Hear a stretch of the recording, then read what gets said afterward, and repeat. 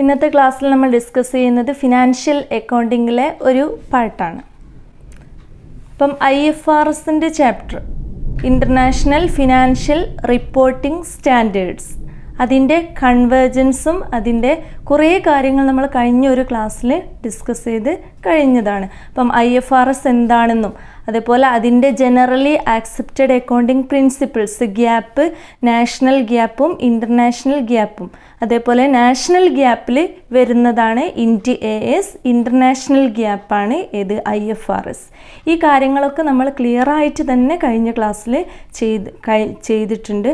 അപ്പം ആ ക്ലാസ് കേൾക്കാത്തവരുണ്ടെങ്കിൽ ആ ക്ലാസ് കേട്ടതിന്റെ ശേഷം ഈ ഒരു ക്ലാസ്സിലേക്ക് കടക്കും.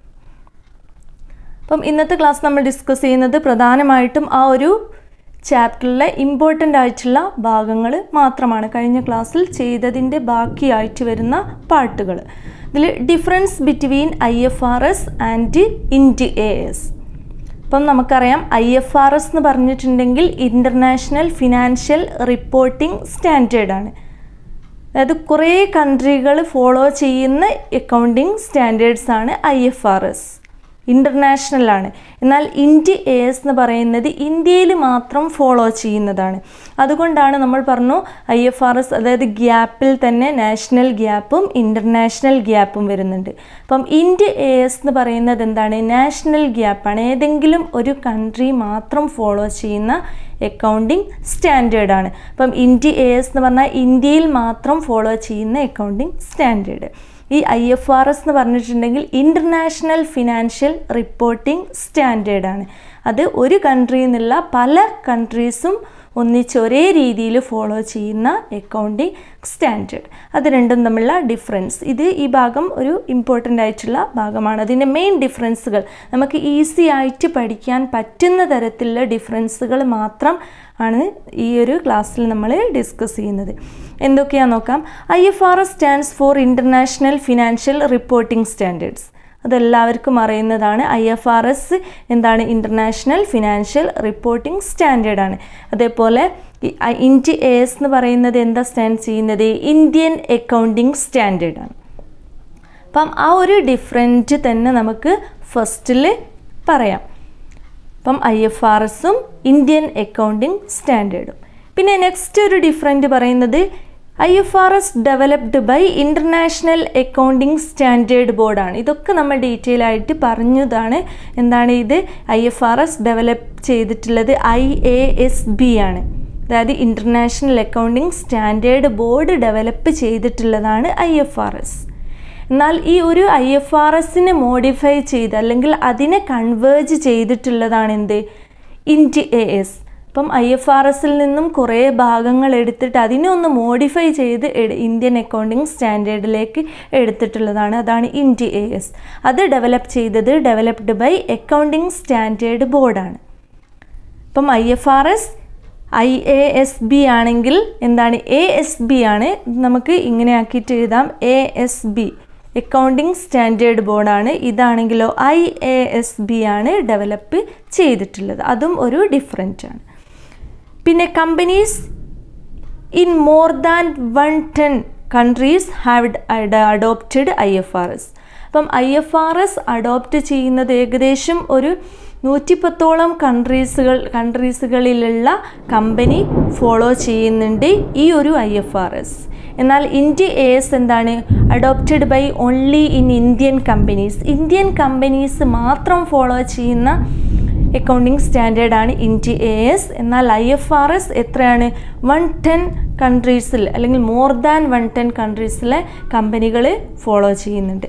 പിന്നെ I F R S provides clear instruction on the how to adopt I F R S for the first time first ടൈമിൽ തന്നെ ഐ എഫ് ആർ എസ് എങ്ങനെ അഡോപ്റ്റ് ചെയ്യാം എന്നുള്ളതിനുള്ള ഒരു clear instruction I F R S provide ചെയ്യുന്നുണ്ട്. എന്നാൽ എന്താണ്? It does not give any clear instruction on the first time എന്നാൽ ഇന്ത്യ എ എസിൽ ഇന്ത്യൻ അക്കൗണ്ടിങ് സ്റ്റാൻഡേർഡിൽ ഫസ്റ്റ് ടൈമിൽ എങ്ങനെ അഡോപ്റ്റ് ചെയ്യണം എന്നുള്ളത് ഇൻസ്ട്രക്ഷൻ ഒന്നും തരുന്നില്ല. കാരണം ഐ എഫ് ആർ എസിൽ നിന്നും കൺവേർജ് ചെയ്തിട്ടില്ല അല്ലെങ്കിൽ മോഡിഫൈ ചെയ്തിട്ടുള്ള ഭാഗമാണ് ഇന്ത്യ എ എസ് പിന്നെ preparation of consolidated statement is required അപ്പം ഐ എഫ് ആർ എസിൽ എന്താണ്? കൺസോൾഡേറ്റഡ് സ്റ്റേറ്റ്മെന്റിന്റെ പ്രിപ്പറേഷൻ വരുന്നുണ്ട്. എന്നാൽ ഇന്ത്യൻ അക്കൗണ്ടിങ് സ്റ്റാൻഡേർഡിൽ കൺസോൾഡേറ്റഡ് സ്റ്റേറ്റ്മെന്റിന്റെ പ്രിപ്പറേഷന് വരുന്നില്ല.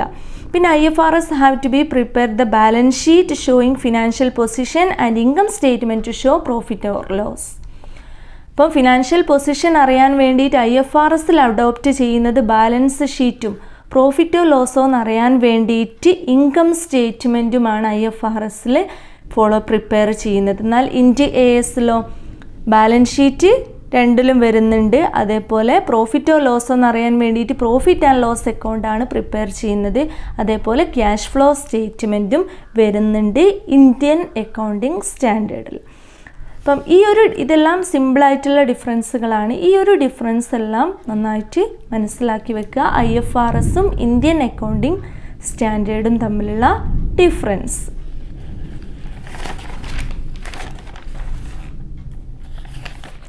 പിന്നെ നമ്മൾ അതിന്റെ കുറച്ച് ഭാഗങ്ങളൂടി നമുക്ക് പറയാം. ആ ഒരു ഭാഗത്തുള്ളതാണ് ഫിനാൻഷ്യൽ എലമെന്റ്സ് എന്താണെന്ന്. Financial elements from which financial statements and other form of financial reports are to be constructed ഇപ്പം ഫിനാൻഷ്യൽ എലമെൻസിൽ പറയുന്നത് ഫിനാൻഷ്യൽ സ്റ്റേറ്റ്മെന്റ്സുകളും അതേപോലെ ഫിനാൻഷ്യൽ റിപ്പോർട്ട്സിന്റെ പല ഫോമുകളുമാണ് ഈ ഫിനാൻഷ്യൽ എലമെൻസിൽ അതായത് financial elements by I A S B Indian accounting standard board follow ചെയ്യുന്ന financial എലമെൻസിൽ വരുന്നത് എന്തൊക്കെയാണ് പറയുന്നത്? ഫിനാൻഷ്യൽ സ്റ്റേറ്റ്മെന്റ്സുകളും അതേപോലെ ഫിനാൻഷ്യൽ റിപ്പോർട്ട്സിന്റെ അത് അനദർ ഫോംസുകളുമാണ് വരുന്നത്. അതിൽ അതിന്റെ ഒരു ക്ലാസിഫിക്കേഷൻ പറയുന്നുണ്ട്. ഫിനാൻഷ്യൽ അക്കൗണ്ടിംഗ് സ്റ്റാൻഡേർഡ് ബോർഡ് അതാണ് F A S B financial accounting standard board ten financial എലമെൻസുകൾ follow ചെയ്യുന്നുണ്ട്. അതായത് ഫിനാൻഷ്യൽ അക്കൗണ്ടിംഗ് സ്റ്റാൻഡേർഡ് ബോർഡ് ആ board ten financial elements follow ചെയ്യുന്നുണ്ട്. ആ ഫിനാൻഷ്യൽ എലമെന്റ്സിൽ ഫൈവ് ബാലൻസ് ഷീറ്റിലും ഫൈവ് ഇൻകം സ്റ്റേറ്റ്മെന്റിലുമാണ് വരുന്നത്. അപ്പോൾ ഫിനാൻഷ്യൽ എലമെൻസുകൾ ടെൻ ആണ്. അതിൽ അഞ്ചെണ്ണം ബാലൻസ് ഷീറ്റിൽ വരുന്നതും അഞ്ചെണ്ണം ഇൻകം സ്റ്റേറ്റ്മെന്റ്സിൽ വരുന്നതുമാണ്.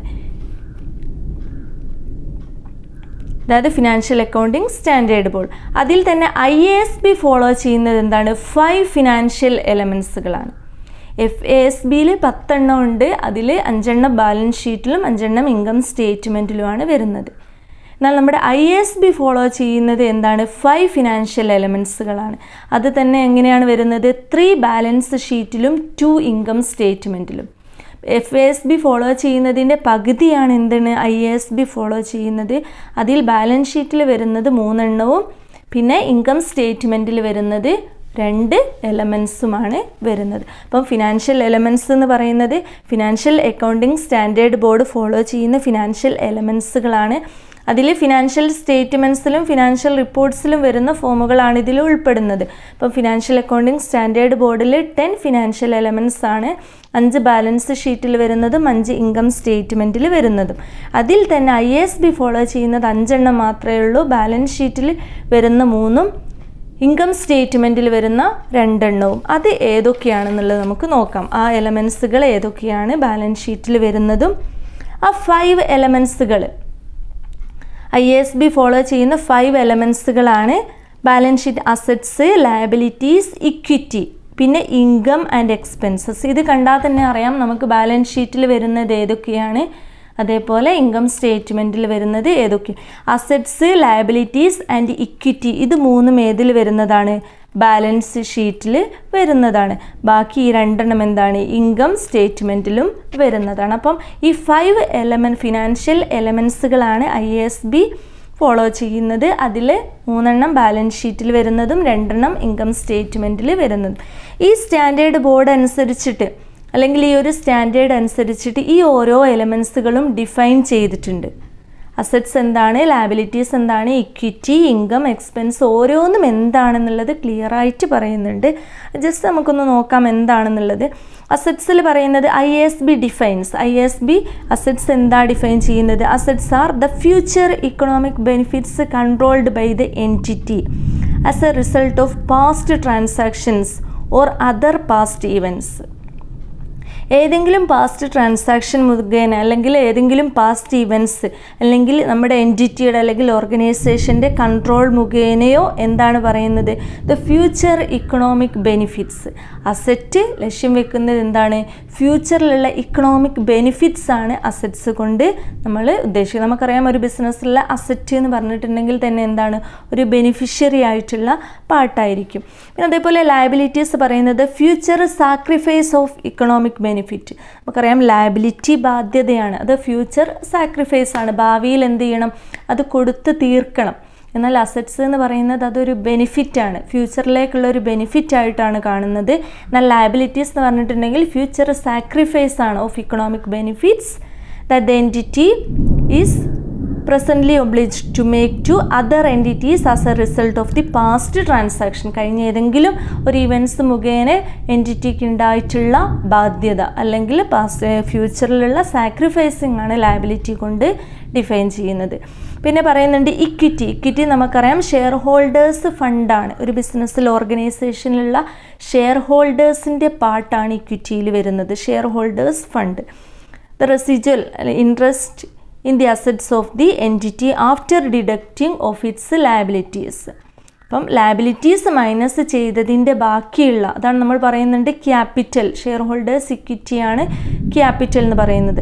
ആ ഒരു ഷെയർ ഹോൾഡേഴ്സ് ഇക്വിറ്റി എന്താണെന്ന് പറയുന്നുണ്ട്. അതേപോലെ ഇൻകം എക്സ്പെൻസ് നമുക്കറിയാം ഇൻകം എന്താണ് എക്സ്പെൻസ് എന്താണെന്നൊക്കെ. Increase in the economic benefits during the accounting period income എന്ന് പറഞ്ഞിട്ടുള്ളത് ഏതൊരു അക്കൗണ്ടിങ് പീരീഡിലെ അക്കൗണ്ട്സ് ആണോ ചെയ്യുന്നത്? ആ ഒരു പീരീഡിൽ മാത്രം വരുന്ന ഇക്കണോമിക് ബെനിഫിറ്റ് അല്ലെങ്കിൽ ഇക്കണോമിക് ബെനിഫിറ്റ് ഇൻക്രീസ് ചെയ്യുന്നതാണ് ഇൻകം വരുമാനം കൂടുമ്പം എന്താണ് ഇക്കണോമിക് ബെനിഫിറ്റ് കൂടും? അതേപോലെ എക്സ്പെൻസ് എന്ന് പറഞ്ഞാലോ ഇക്കണോമിക് ബെനിഫിറ്റ് ഡിക്രീസ് ചെയ്യുന്നതാണ്.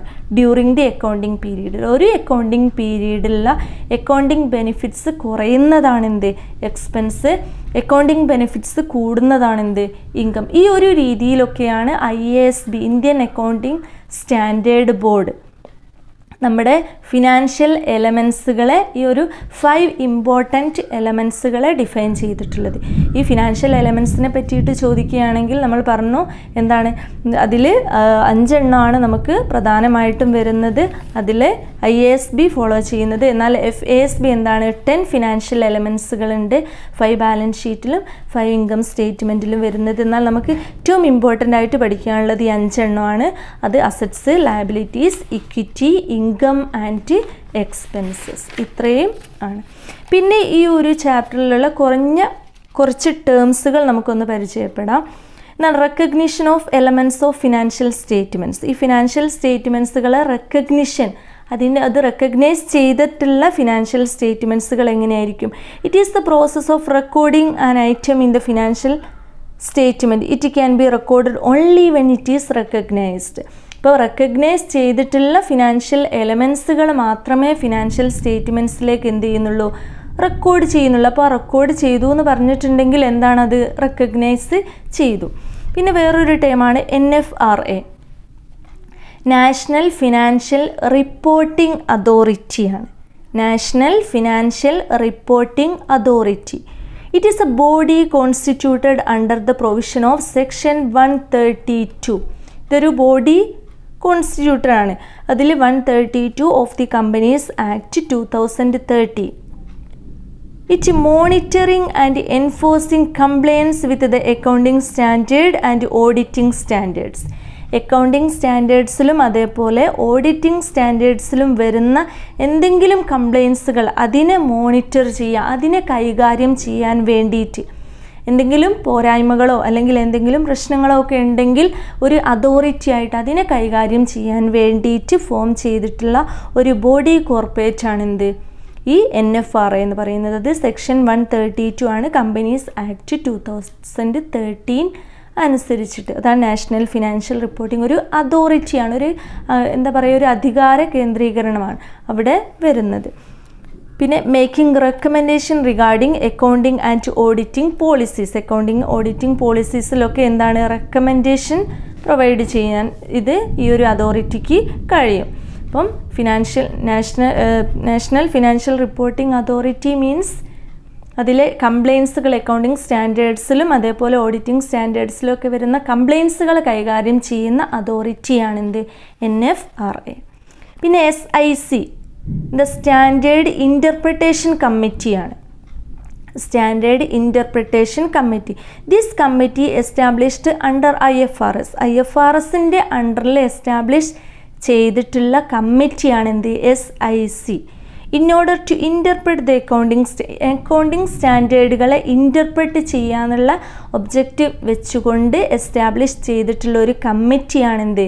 S I C now interpretation function is conducted by എന്നാൽ ഈ ഒരു ഈ ഒരു സാഹചര്യം അല്ലെങ്കിൽ ഇപ്പോൾ എന്താണ് ഈ ഒരു ഇന്റർപ്രിട്ടേഷൻ ഫങ്ഷൻ ചെയ്യുന്നത് ഐ എ എസ് ബിയും and I F R S I C അതായത് ഇന്റർനാഷണൽ അക്കൗണ്ടിംഗ് സ്റ്റാൻഡേർഡ് ബോർഡും അതേപോലെ International Financial Reporting Standard International അല്ലെങ്കിൽ ഇന്റർപ്രിട്ടേഷൻ കമ്മിറ്റിയാണ് International Financial Reporting Standard Interpretation Committee ഈ ഒരു രണ്ട് കമ്മിറ്റികളുണ്ടെങ്കിൽ ഈ ഒരു ബോർഡും ഈ ഒരു കമ്മിറ്റിയുമാണ് ഇന്റർപ്രിട്ടേഷൻ ഫങ്ഷൻ ഇപ്പം ചെയ്യുന്നത്. അപ്പം അതിന് വേണ്ടിയിട്ട് രൂപീകരിച്ചിട്ടുള്ള ഒരു കമ്മിറ്റിയാണ് എന്ത് എസ് ഐ സി അപ്പം ഇതൊക്കെയാണ് ഈ ഒരു ചാപ്റ്ററിലുള്ള ഇമ്പോർട്ടന്റ് ആയിട്ടുള്ള കുറച്ച് ടേംസുകൾ അപ്പം നമ്മൾ കഴിഞ്ഞ ക്ലാസ്സിൽ ചെയ്തിട്ടുള്ള ഐ എഫ് ആർ എസിന്റെ പാട്ടും ഈ ഒരു പാട്ടും എന്ത് ചെയ്യുക? നന്നായിട്ട് മനസ്സിലാക്കി വെക്കുക. നമുക്ക് എക്സാമിനൊക്കെ ഈ ഒരു ഭാഗത്തു നിന്ന് തിയറി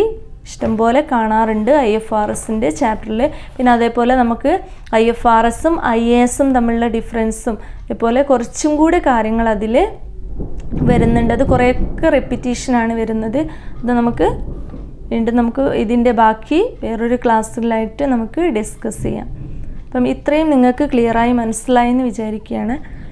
നിങ്ങൾ ഈ വീഡിയോ ഇഷ്ടമായെങ്കിൽ മാക്സിമം ഷെയർ ചെയ്യുക. ആദ്യമായിട്ടാണ് ഇത് കാണുന്നതെങ്കിൽ സബ്സ്ക്രൈബ് ചെയ്യുക. നിങ്ങളുടെ ഫ്രണ്ട്സിനെല്ലാം ഷെയർ ചെയ്ത് കൊടുക്കുക. താങ്ക്